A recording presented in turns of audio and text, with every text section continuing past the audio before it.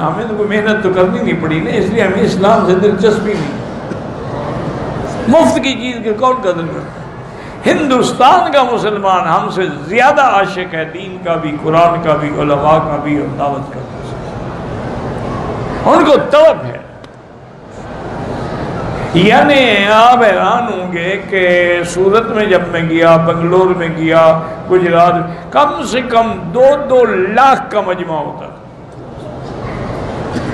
और वो लोग बेचारे देखने के लिए इतने मुश्ताक थे कि उन्हें टेलीविज़न स्क्रीन लगाई हुई थी कि शक्ल तो नज़र नहीं आती थी। एक किलोमीटर दूर से शक्ल कैसे नज़र आए?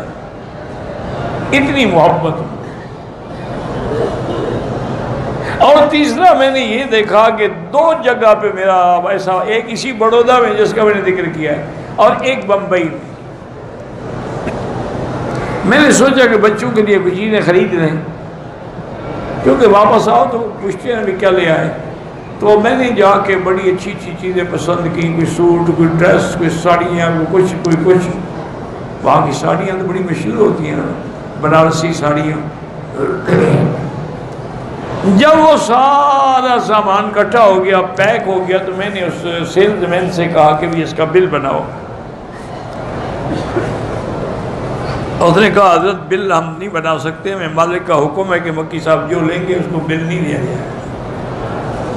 मैंने कहा, फिर ये सामान अपने पास रखो, मैं वो मौलवी नहीं हूँ जो मौलवियत के नाम पे लोगों से आके पैसे वसूल करें। मैं नहीं उसने बड़ी मेहनत की। मैंने कहा, जो मर्ज़ी आए, ज़ोर लगा मैंने हर हाल में नहीं लेना मालिक बेचारा भाग के आया। उसने भी कहा, मैंने कहा, भाई, तुम्हारी मेहरबानी, तुमने मोहब्बत की, अल्लाह तुम्हें जदा दे, तुम्हारे कारोबार में बरकत दे। और मैं सच्ची बात है हैरान हुआ। बहुत बड़ा प्लाजा था उसका। मुझे वज़ू की ज़रूरत हुई। तो मेरे साथ के ऊपर छत पे। बेहतरीन मस्जिद उसने बनाई हुई थी। बेहतरीन कालीने बिछी। मैंने कहा, उन्होंने कहा, ना, मेरा हर मुलाजिम नमाज़ पढ़ता है। बाकायदा जमात होती है, बाकायदा तिलावत होती है। बाकायदा उसके बाद दावत वाले होते हैं कुछ बेचारे बयान भी करते हैं। मैंने कहा, देखे ना अब मेरी बात भी तुम मान लो कि मैं आया था सौदा खरीदने। तुमने दे दिया तो ना तो तुम्हें कोई सवाब हुआ।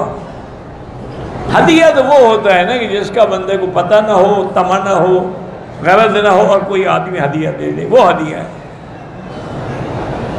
उन्होंने कहा जी ठीक। वो जनाब आप हैरान होंगे कि वो भी हमारे हिंदुस्तानी मुसलमान, माशाल्लाह कितने होशियार हैं। मैं जब जिद्दा एयरपोर्ट में उतरा ना जी तो पार्सल जो था ना मेरे नाम पे वो भी साथ उनने मेरे नाम पे बुक करा दिया, मुझे पार्सल जिद्दे में मिला। उन्होंने कहा, जी, अब तो कोई आप देख नहीं रहे मैंने मजबूरन फिर ले लिया क्या करना? तो ये मैंने देखा है, अल्लाह उनको इज़ाय खैर फरमा अभी मौलाना मस्तानवी साहब ने मुझे बताया था, एक जगह अहमदनगर है या क्या, औरंगाबाद है, ऐसी कोई जगह है। वहाँ मेरा जलसा था।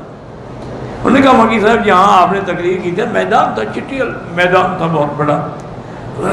उन्होंने कहा कि वहाँ हमने मेडिकल कॉलेज बनाया है मुसलमानों मैंने कहा, वो कैसे?